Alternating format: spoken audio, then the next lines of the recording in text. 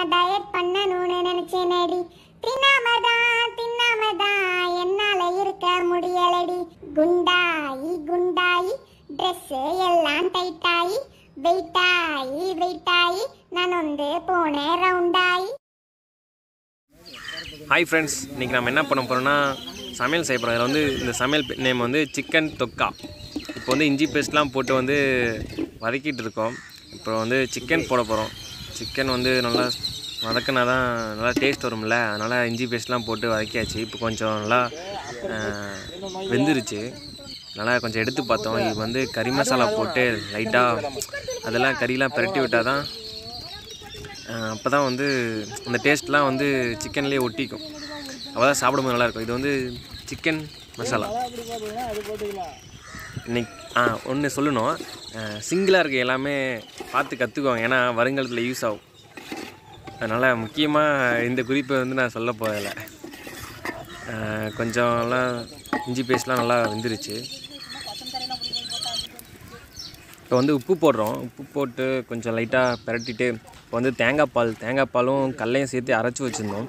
ரெண்டையும் மிக்ஸ் பண்ணிவிட்டு லைட்டாக கொஞ்சம் தண்ணி ஊற்றிட்டு வேவ கறி வந்து வே வேகணும்ல அதனால் தண்ணி ஊற்றிட்டு கொஞ்சம் மூடி வச்சிட்டோம் கொஞ்ச நேரம். அப்புறமேட்டுக்கு நல்லா வதக்குன மாதிரி ஆயிடுச்சு கொஞ்சம் நல்லா எடுத்து டேஸ்ட் பண்ணி பார்த்துட்டு அப்புறமேட்டுக்கு சாப்பிட இலையெல்லாம் ரெடி பண்ணிட்டு இப்போ எடுத்துகிட்டு வர சொல்லி இந்த பசங்களை அவனுக்கு போய் எடுத்துகிட்டு வந்துட்டானுங்க. இப்போ சாப்பிட போகலாம் வாங்க ஃப்ரெண்ட்ஸ் இப்போ வந்து இலையை கொஞ்சம் லைட்டாக க்ளீன் பண்ணிவிட்டு தண்ணி நல்லா தெளிச்சுட்டு அப்போ தான் அதில் தண்ணி தெளித்தா தான் சாப்பாடு வந்து ஒட்டாதுன்னு சொல்லுவாங்க. அதனால் தண்ணி நல்லா தெளிச்சிட்டு சாப்பாடை போட்டு இப்படி ரைனாக கொஞ்சம் கொட்டிட்டு ஏன்னா நிறைய பேர் நாங்கள் நாலஞ்சு பேர் மேலே இருக்கோம். அதனால் சாப்பிட்றதுக்கு கொஞ்சம் பெரிய இலை தான் வேணும். அதனால் பெருசாக தான் கட் பண்ணிட்டு வந்தானுங்க பசங்க.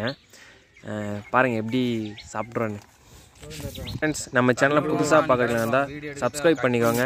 பெல்லைக்கனை ப்ரெஸ் பண்ணிக்கோங்க. கமெண்ட் பண்ணுங்கள் லைக் பண்ணுங்கள் இன்னைக்கு எப்படி சாப்பிட போகிறோம் அப்படின்னு ஒரு போன வாரமே பிளான் பண்ணியிருந்தோம். எப்படிலாம் சமைக்கணும் எல்லாம் கேட்டுட்டு எல்லாம் வீட்டிலலாம் கேட்டிருந்தோம். பாருங்கள் ஃப்ரெண்ட்ஸ் இது வந்து முட்டை வந்து நாங்களே தனியாக இதில் வேச்சு அப்புறமேட்டு இதுலேயே போட்டு பிரட்டியாச்சு. சிக்கன் வந்து மூன்றரை கிலோ எடுத்துகிட்டு வந்தோம். உயிரோட தான் பிடிச்சிட்டு வந்தோம். பிடிச்சிட்டு வந்து அண்ணா கிட்ட கொடுத்து கட் பண்ணி எடுத்துகிட்டு வந்தோம்.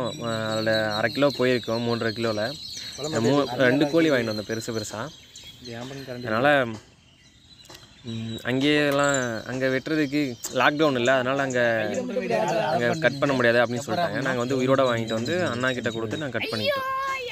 இப்போ வந்து வாயை கட்டி வைத்த கட்டி நான் டயட் பண்ணணும்னு நினைச்சேனடி.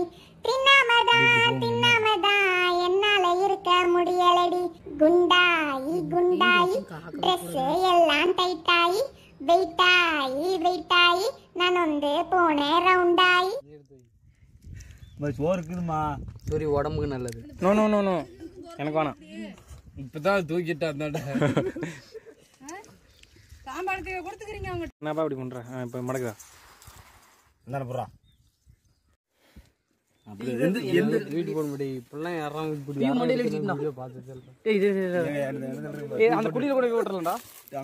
வரலடா போடுறா அப்படியே.